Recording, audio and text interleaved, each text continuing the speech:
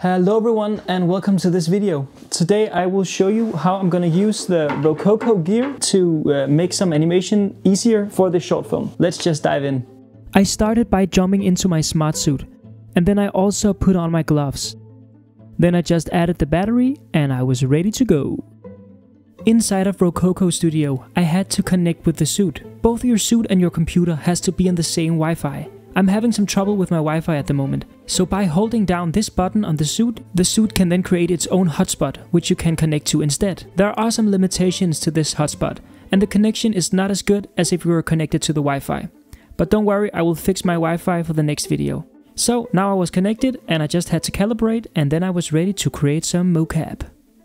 As I said in my previous video, I had the Smart Suit 1. This is the Smart Suit 2 and I am really impressed by the improvements. The tracking is really precise even though I'm using the suit's own hotspot and not running on the Wi-Fi and it's just super simple to set up. I only recorded this scene a couple of times and then I was quite happy with the result always spend a little bit longer on creating a great recording instead of just rushing it. It will simply be way less work in post. I then trimmed the animation to my liking and then I did some post work in the Studio app, which is mainly making sure that the feet are locked to the ground in the right places. And that is super easy to do inside of the app. Then I just exported the scene as an FBX file. And here inside of Blender I just have my character rigged with a Mixamo rig. I then imported the Rokoko FBX file and then I just used their free Rokoko add-on for Blender to retarget the animation. So you start by picking the source rig, which is the rig with animation, and that is the Rokoko FBX, and then you pick the rig which you want the animation applied to which is my character. Then you press build bone list and usually it will do a great job. Then you press retarget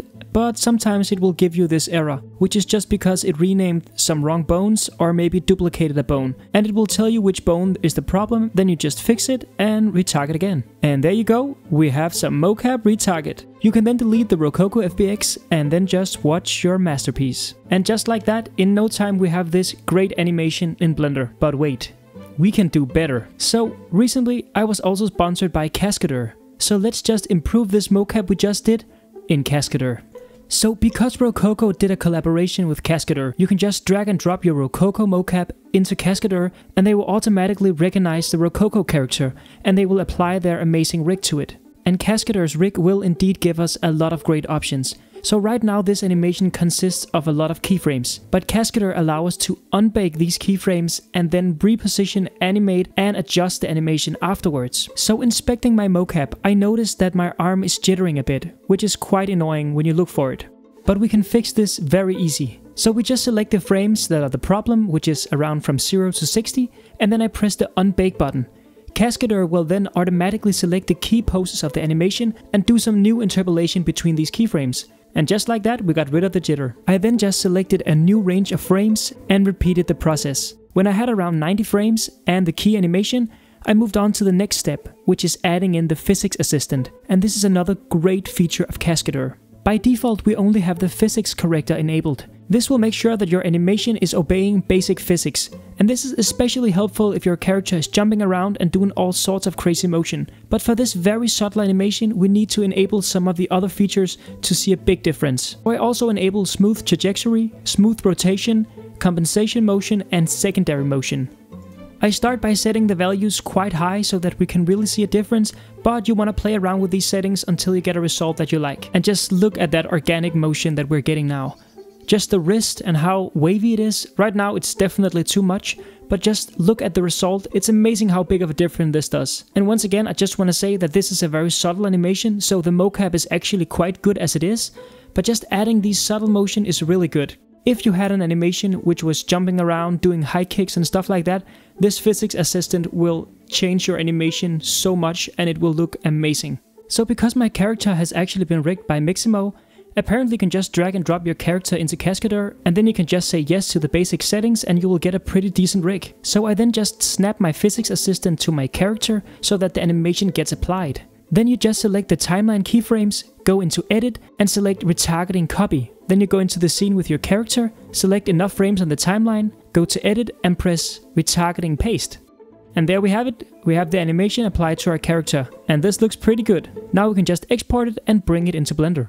Oh, whoa, whoa, but wait. Inspecting this model, I see that my model has a different scale than my Rokoko character. This means that his hands is actually clipping with his pants, and this does not look good. But don't worry, let's fix it with ease, using another feature in Cascadeur, called interval editing. So we just select the whole animation and press on the red icon and this will activate this red square around the viewport. We can then adjust the pose however we like and it will affect the pose throughout the whole animation. This is very awesome. And just like that his hand is no longer clipping with his pants. And now we can export to Blender. So here we are in Blender with this very basic scene setup and then I've just imported the animation from Cascadeur as an FBX file. I've also added in the ice cream with some different animation, and this involves constraints and some shape keys, which is a bit more difficult, so I will save that for another video. But one thing we can add is some facial animation, and we will do that using Rokoko's facial animation features, which involves using your phone. In my case, my iPhone. So here I am with the Rokoko head rig. It is a super handy rig Though you don't have to use it to record facial motion capture, it's just really handy and you get some great results. But I've managed without for a year and it was fine, but I have to say it is way easier with the rig. And here we are in Rokoko Studio. And once again, you have to connect your iPhone and your computer to the same Wi-Fi. And then this little window will pop up in the Studio app where you can connect to your phone. Then you just have to say allow on your phone and there you go. Let's record some motion capture! This facial mocap took a couple of tries to get just right, but it was a really fun process and I enjoyed every single bit of it. Once I was done with the recording, I exported the scene as an FBX file. Then I opened my scene in Blender and I just imported the file as an FBX file. And as you can see, I now have my face imported with all the shape key values baked as keyframes. I can now apply this animation data to my own character. But in order for this to work, my character will have to have, I think it's around 42 shape keys, which you can get automatically using this great add-on called Faceit. It makes the creation of the shape keys super easy to do. I've been using the add-on for around 2 years and it's simply great. I'm in no way sponsored by Faceit, it's just a great add-on. Anyways, I copy the keyframes from my Rokoko head over to my own character, but I get this error. And to fix this, you simply have to activate your keyframes by placing a keyframe on each of the shape keys. Then you can just copy the animation and paste it once again, and there you go.